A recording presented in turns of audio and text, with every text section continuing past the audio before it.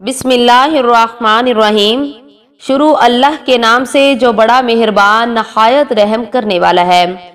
तमाम सुनने और देखने वालों को असलकुम ये कायदा कुलिया है कि जहाँ दो चार तनफुस रहते हों, वहाँ अगर आम तौर पर मोहब्बत और उल्फत जलवागर होती हैं तो कभी कभी उनमें नाराज़गी भी का फरमा हो जाती हैं। और ये भी दस्तूर है कि जब दो नफूस में मोहब्बत हद से बढ़ जाती है तो वो शुक्र रंजी का लुत्फ भी उठाते हैं। तो फिर जब उनमें सफ़ाई होती है तो वो मोहब्बत पहले से भी ज़्यादा शफाफ और मुस्तकम होती है। इस कुलिया से अम्बिया भी मुस्तना नहीं रहे। चुनाचे खुद रसूलुल्लाह सल्लल्लाहु अलैहि वसल्लम भी अपनी अजवाज मतहरात से किसी वक्त खफा हो जाते और अजवाज मतहरात भी कभी हुजूर सल्लल्लाहु अलैहि वसल्लम से रूठ बैठती थी। अगरचे उनकी ये नाराज़गी और खुफगी ऐसी ना होती जो मुद्दत मदेर तक कायम रहती। कभी हुजूर सल्लल्लाहु अलैहि वसल्लम अपनी बीवियों को मना लेते और कभी वो खुद हुजूर को मना लेती। और इस तरह ना सिर्फ़ रंजीदगी ही रफा हो जाती, बल्कि बाहमी ताल्लुकात में और भी खुशगवारी और दस्तवारी पैदा हो जाती, जो दूसरों के लिए बहुत सबक आमोज होती। हज़रत अली और हज़रत फातिमा तो जहरा रज़ी अल्लाह तुम तो आखिर रसूलुल्लाह सल्लल्लाहु अलैहि वसल्लम के शागिर्द तरबियत याफ्ता थे। इन दोनों में भी बाहिम नाराज़गी हो जाती थी। कभी फातिमा रूठ जाती और कभी अली खफा हो जाते, लेकिन बहुत जल्द उनमें सुलह भी हो जाती। जो सनोशुई यानी मर्द और औरत के लिए बाहिमी ताल्लुकात पर अच्छा असर डालती। और देखने सुनने वाले उससे उम्दा असर लेते। चुनाची इस मुकदस जोड़े में भी रंजो मलाल के आसार नमाया होते तो खुद नबी करीम सल्लल्लाहु उनकी नाराज़गी को रफा करने की कोशिश फरमाते और दोनों को अलग अलग समझाते कि यूँ करना चाहिए और यूँ रहना चाहिए।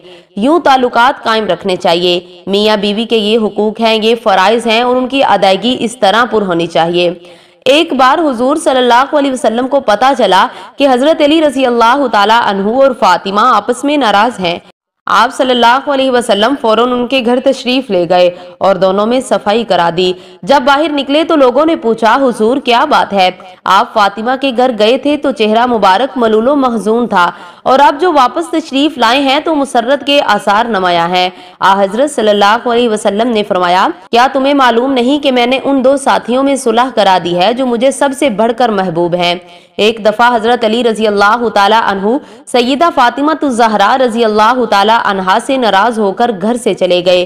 मस्जिद नबवी की एक दीवार के साथ लेट गए।